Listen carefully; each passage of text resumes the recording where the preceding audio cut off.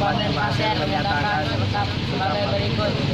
Satu, kami masyarakat Kabupaten Pasir menolak adanya berita bohong yang dapat memecahkan belah persatuan dan kesatuan bangsa Indonesia.